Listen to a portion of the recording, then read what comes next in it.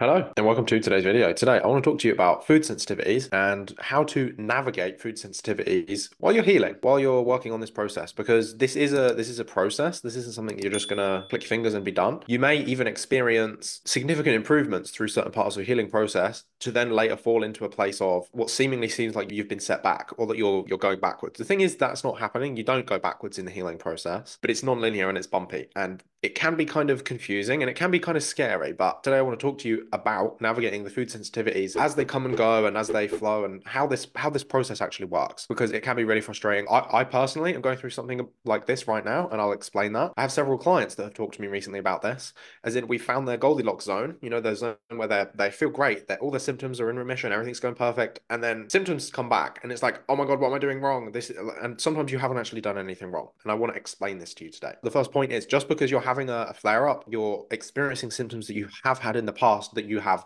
healed that have now come back, you're not moving backwards necessarily. It's possible that you can move back, but you really have to be doing things. You will know if the, this is you you know?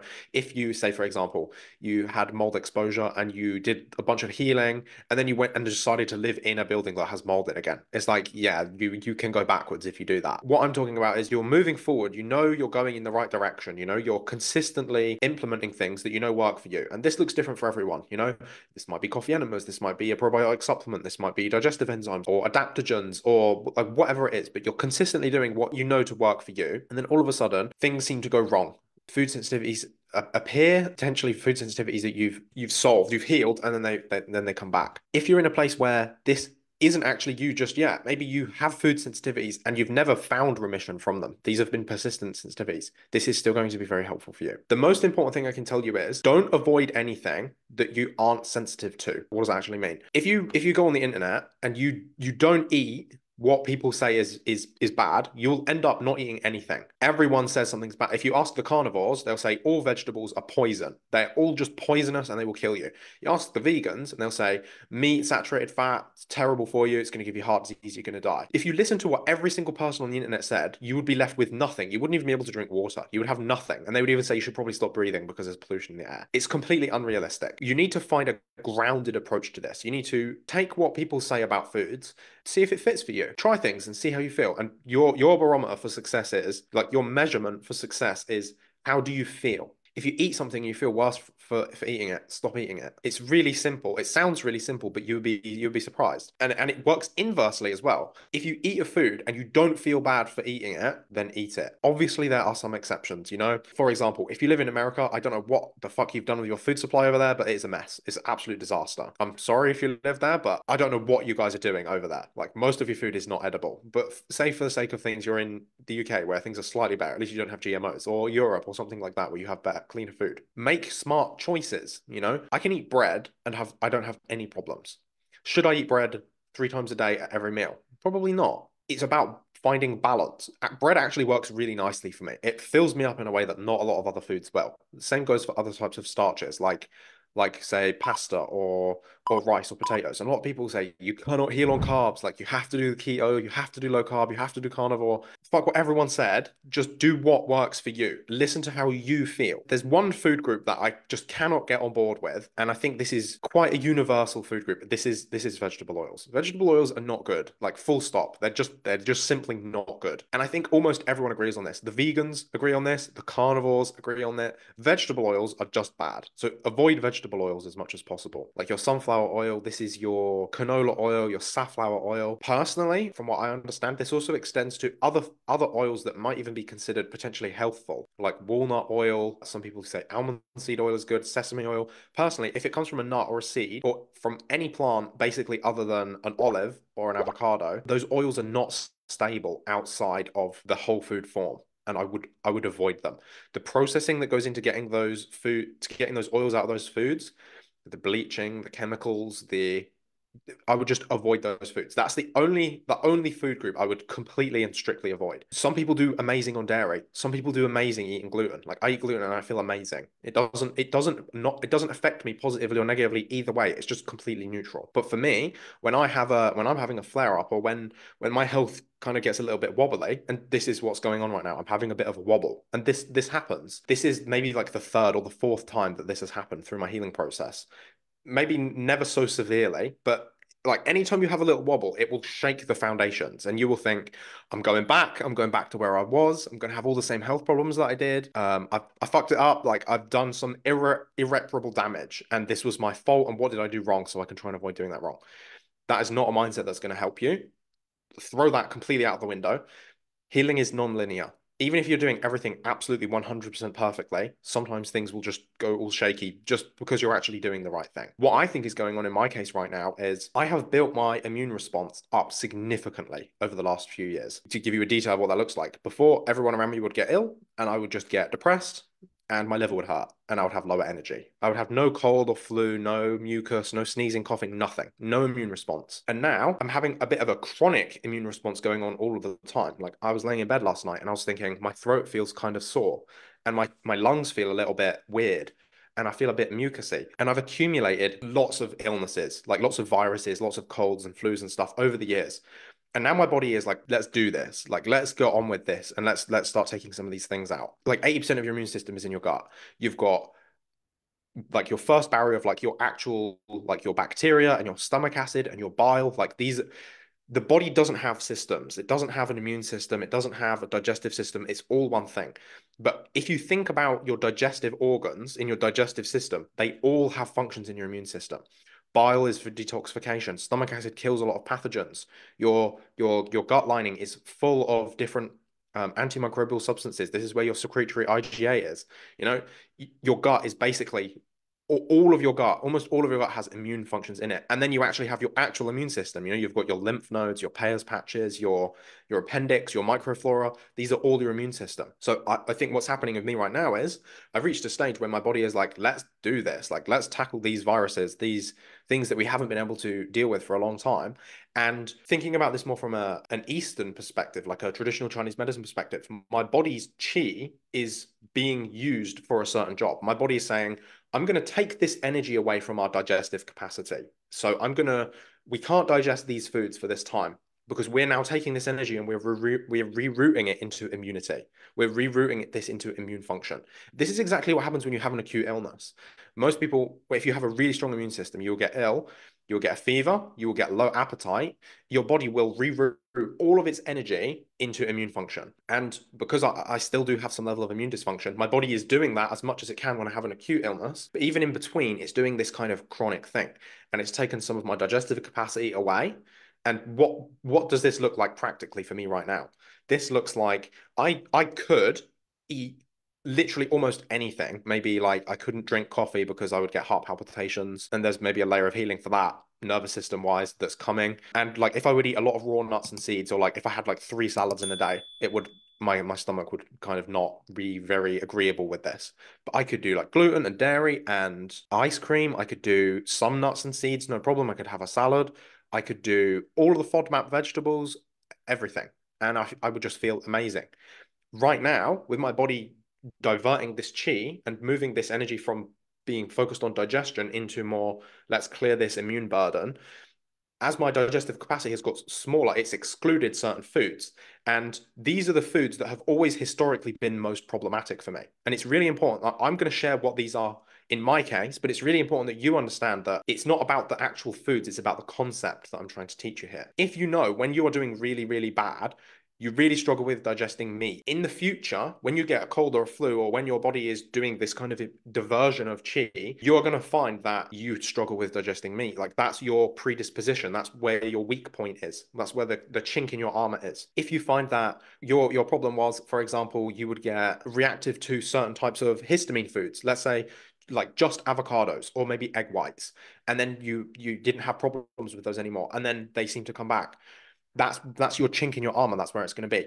For me, the chink in my armor is is fiber. Fiber is what my body struggles with the most. I think this is partly due to physiological factors, uh, sort of being primary thing that influences your body's ability to handle fiber is your mucosal lining and your microbiome. And you can imagine if you're going through an extreme immune situation like I'm, your your mucosa is there's a lot going on there and your microbiome is kind of all over the place like and that's kind of what you would expect and for me this has looked like I've lost some tolerance around certain FODMAP vegetables. So like particularly like garlic as an example, but also raw things like say like like a salad. I would not be able to digest a salad right now. This can feel like you are losing progress. This can feel like you're moving back or like you're missing something when actually this can just be a symptom that you're actually going in the right direction and your body has redirected that energy.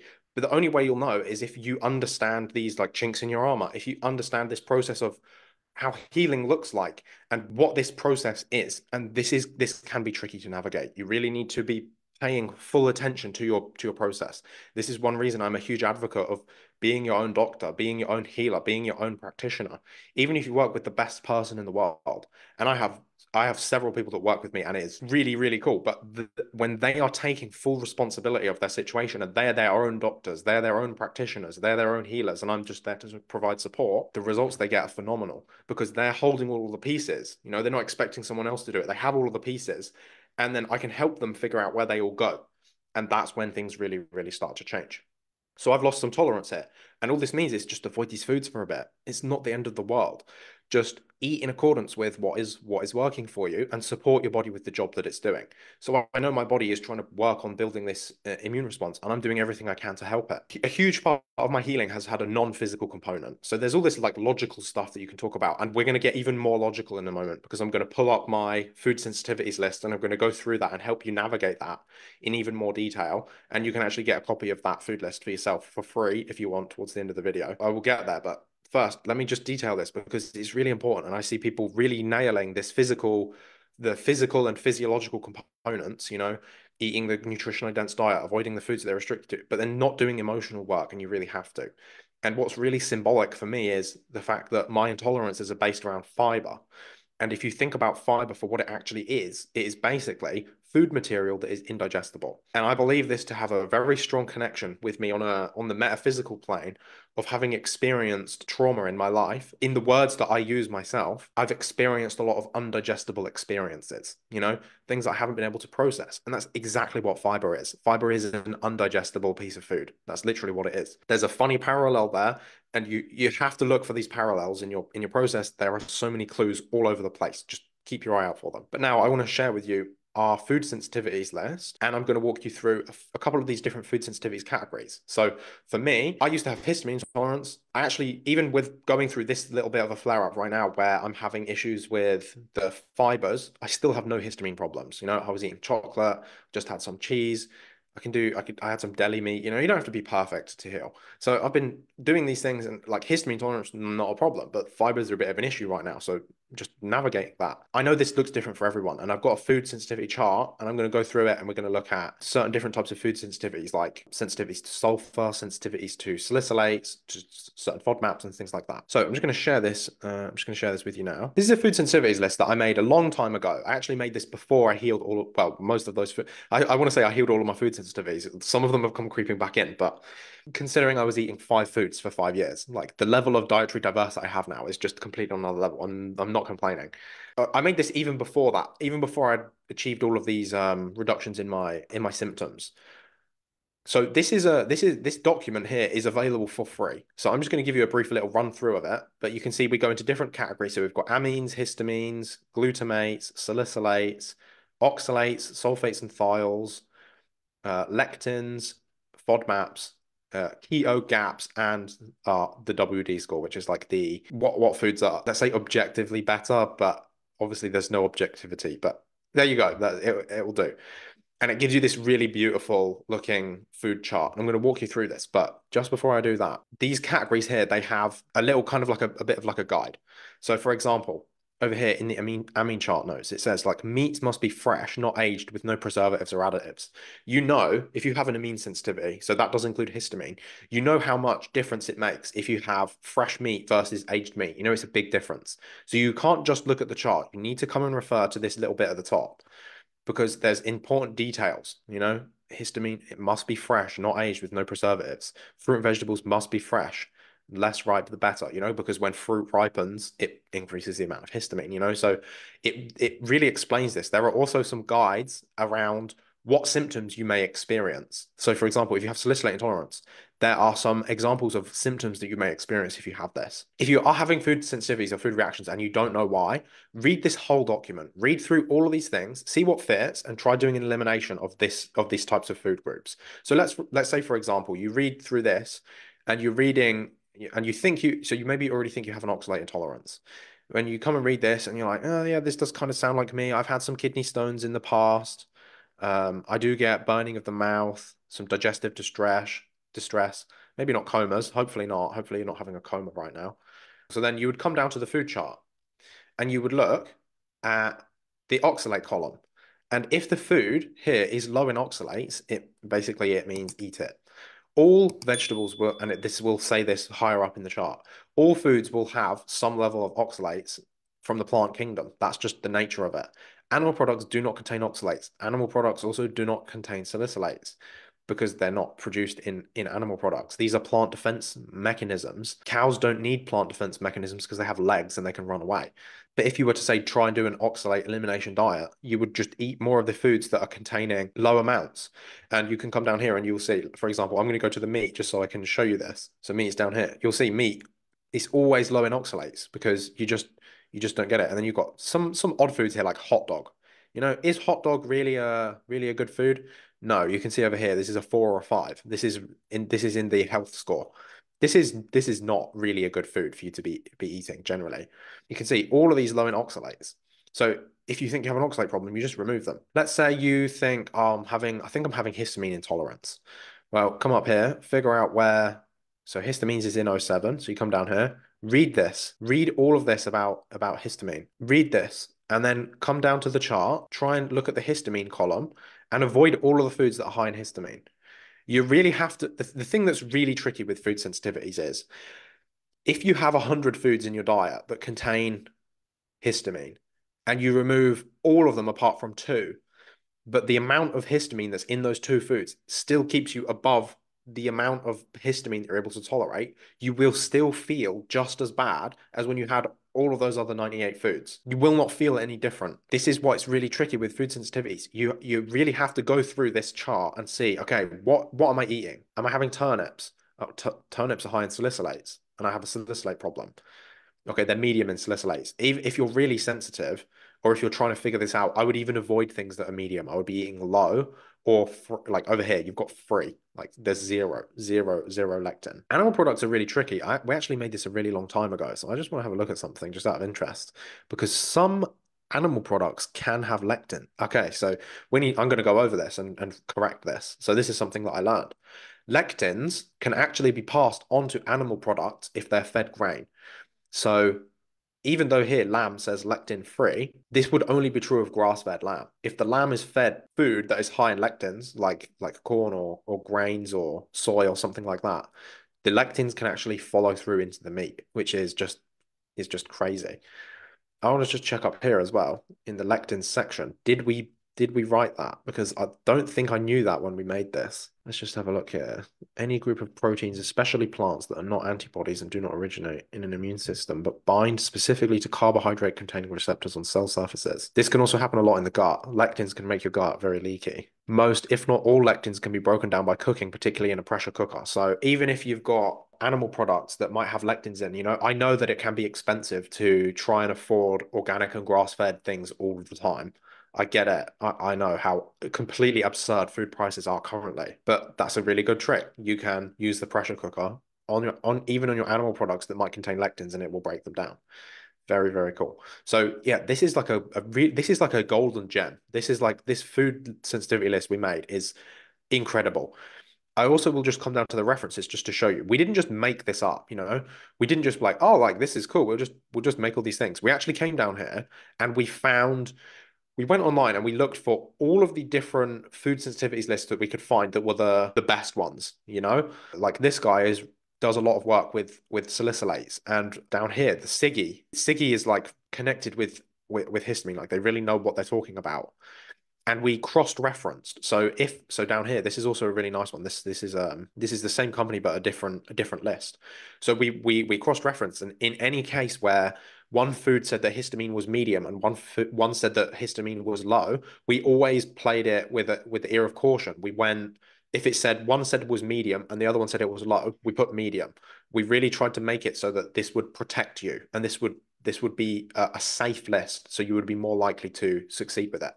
So you can actually, when you when you get this, a lot of these are actually clickable links. For example, this one is clickable, this one is clickable, this one is clickable, and all the other ones that aren't, they're very big. You could literally go on Google and search that, and you would be able to find this. This is a fully referenced document. There is no column in here that is made up. The only, well, I suppose there's one that's made up, which is the WD score, William Dickinson score. This is the score that that I made up. So just to explain what this score is, generally, the more ones that you eat, the better. Twos generally you want your diet to be basically ones and twos. So if you if you see if you go up here, let's let me just give you a demonstration of this. So for example, you come to the alcohol alcohol section, you've got a lot of fours and fives. This means probably don't have alcohol all of the time. Like who would have guessed it? welcome to welcome to healing. But if you come up a little bit further, like here, coconut milk is a two. Coconut milk could be in your daily diet. Kombucha, a two. It's not that bad. It's pretty good. Up here, you've got some threes. Tomato juice, pineapple juice, orange juice. These are good. They are a little bit higher in sugar though, so you might want to be careful of that. Can really spike your blood sugars. But again, this is this is also what, something that's really important. So, for example, I can spike my blood sugar and it doesn't really affect me that much. It does like my body seems to handle it very well. I can drink orange juice. I could drink a liter of orange juice and I feel fantastic. I just feel full of energy, and then I feel great. If my wife were to do the same, my wife is experiencing PCOS and with an insulin resistance component, if she would do that, she would feel horrible. She would feel really, really bad. Even taking this score, you have to look at it contextually. You have to see how does it impact you? So like here, cranberry juice we've got as a one, and you might think, well, I'm sensitive to cranberries. You know, I have intolerance to I have intolerance to salicylates, and, and I have intolerance to amines, and I'm doing the keto diet. Should I have cranberry juice because it's a one? No, you shouldn't, because you've got a void here. This is high in salicylates, it's high in amines, so don't do it. The reason that we made this document so comprehensive, and with this score at the end is the WD score gives you a rough guide. Eat lower numbers. If you can eat more ones and twos, that's better. Threes and fours, generally okay, have occasionally. Maybe don't eat them every single day. Fives, you really probably shouldn't be. Like here, vegetable oil, I was saying earlier. Vegetable oil is a straight five. That's a, not a good food. Then you got tallow is a one. Have it all the time. Sesame oil, definitely not as bad as vegetable oil, but do you want to have it every day? Probably not olive oil, MCT oil, mayonnaise. And again, this mayonnaise, this is not store bought mayonnaise. This is not mayonnaise made with vegetable oil. This is mayonnaise you make at home with with egg yolks and with with olive oil. Canola oil, five. Avoid, just avoid it. Almond butter, generally not great. Maybe have occasionally. Don't have it every single day. And also, if you make almond butter at home, it's going to be very different than if you buy it from the store. That's going to change that score. That's going to bring it down to a three. Dairy, is a one all the way across. The thing is, you might say, but I'm I'm lactose intolerant or I have a severe dairy intolerance. Then don't eat it. Okay, then don't eat it. It doesn't matter what the chart says. You're in control of your health process. But you might hear people online saying dairy is the devil. It is gonna just completely kill you, and it makes you get mucus, and it's gonna clog your detox pathways. If you eat dairy and you feel good, keep eating dairy keep doing what works for you. You're the only one that can navigate this. And this is a non-linear process. Just because you had tolerance to something once doesn't mean you'll always have tolerance to it. It might you when you have a flare up, when you get cold or flu, when you get sick, it's possible that you will lose tolerance. That does happen. That happens to normal people. That's not because you have a health problem. But your health problem will probably dictate whereabouts that's going to be. So you just have to be careful that you navigate that, you learn yourself, you understand yourself, you understand how your body works, and when it goes wrong, where it's going to go wrong and navigate that. It's really scary when you lose some tolerance, you feel like you're losing ground and you feel like you're going back. You are not. You are not going back. This is a dynamic, fluid process. It's non-linear. Non-linear is a nice word. I actually prefer dynamic because dynamic implies that it's moving all of the time. And non-linear makes you in a way not the fact of linearity kind of makes you feel like you're always going in this direction. You are always going forward, but this dynamicness makes you feel like it's a bit more like responsive. You know, it's a bit more fluidity. It's it's it's flowing and changing a little bit more. And sometimes things will look bad, but that's actually really good. And sometimes things will look good, and that's actually not so good. You know, it, how things look, and you can't measure up how things look to how things are actually going all of the time. It doesn't. It doesn't work like that. But you have to trust the process. You have to you have to trust yourself. Here's a, here's a non-physical component for you. A lot of healing of, of, of especially digestive problems and food sensitivities is the energy of the solar plexus. The solar plexus is responsible for your ability to make decisions and to trust yourself. Can you see how this is so connected? You need to learn what is good for you and what is not, and how to trust your instincts and how to trust what's going on. Take everything that I've said today and take everything else that you hear on the internet and run it through your solar plexus chakra and discern if this is right for you or not. You're the only one in control of this process. And sometimes I know it doesn't feel like it, but that is actually the truth. You are the one that's in control of this process. So take control of it and do what you can to change the situation in your for, your for your best outcome. If there's anything I can do for you, please ask. If you need to leave a comment or you need to shoot me an email, my email is in this document. Please, please, please ask for help because I struggled with this for a really long time and I could have moved forward a lot faster if I had help. And I didn't ask for help because I didn't know who I could ask help to. If that's me, please ask me for help. If it's somebody else, please go and ask them for help. Don't do this by yourself. I'll leave you with one more thing just before we finish today. If you want a copy of this chart, I am going to leave a link in the description afterwards so you can go down. This is a big document. This is like, this is 87 pages. I cannot just give you a link to it. I have to, you have to give me your email so I can send it to you because it's a very big document. So put your there'll be a link down below somewhere. You can click it and it will take you to a web page and you put your email address in there and you press go and it will send you a copy of the document for free. You don't have to pay anything. It's this is completely for free. If for some reason the link isn't there or you can't find it or you just want to do this right now, you can come over to my website. This is my website here. The URL is my name, williamdickinson.co.uk. Very easy to find. So williamdickinson.co.uk. So you come over to williamdickinson.co.uk and then at the top there's a learn section. You go to learn, free guides, WD comprehensive food sensitivities list. You just click that link and it will take you over here and you just put your email in and you press go and it will send you the email straight to your inbox. It will also sign you up to uh, a 10 day exclusive email course. This is a course that is, is designed to help you implement the information in this document better. I call it padding. It's like sometimes just giving you all of the information that you need doesn't work because you're like, this is so much. I cannot process all of this at the same time. I cannot, I don't know what to do with it. You know, it's like funny, funny analogy. I'm actually going to call you a monkey. It's like if you imagine a monkey, you give him a hammer. Uh, uh, he doesn't exactly know what to do with it at first. If you give him a hammer and a set of nails, he's like probably just banging random things with the hammer and he doesn't know how to use it properly.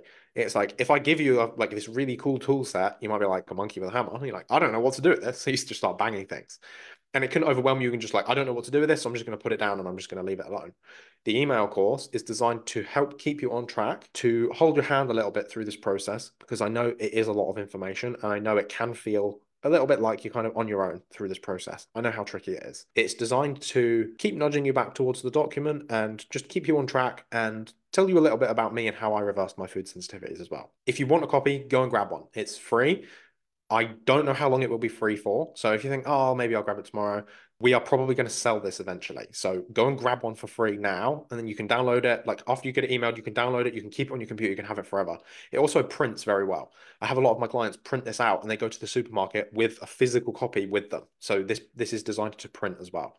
Joanna, my wife, very good with technical stuff. She put it in a format where it's very good to be printed. So it's very printer friendly as well. Get yourself a copy. If you need anything from me, like if you have food sensitivities and you don't know how to navigate it, if you're struggling with something, if, if you just need a, if you just need a little bit of help, reach out, ask me for help, ask me some questions, leave me a comment below. If you already have this list and you've been using it for a while, let me know. Like, let me know that the things that we're doing, that we put a lot of energy and resources and money into making are actually helpful for you. Because, you know, I can't, I couldn't make a document like that by myself. I'm not technically minded. We have to pay people to put this together and compile all the, you know, so it's like a lot of stuff goes into building something like this. So if it's helping, and you're using it, like please let me know. I would really, really appreciate it. If you have any questions, please let me know. And if you need anything, either come over to my website and send me a thing through the form, shoot me an email, support at williamdickinson.co.uk, or send me a, a message on Facebook or Instagram. I'm very friendly, I don't bite. Just reach out, send me a message. So that's everything for me today. So take care, and I'll see you in the next video. Bye.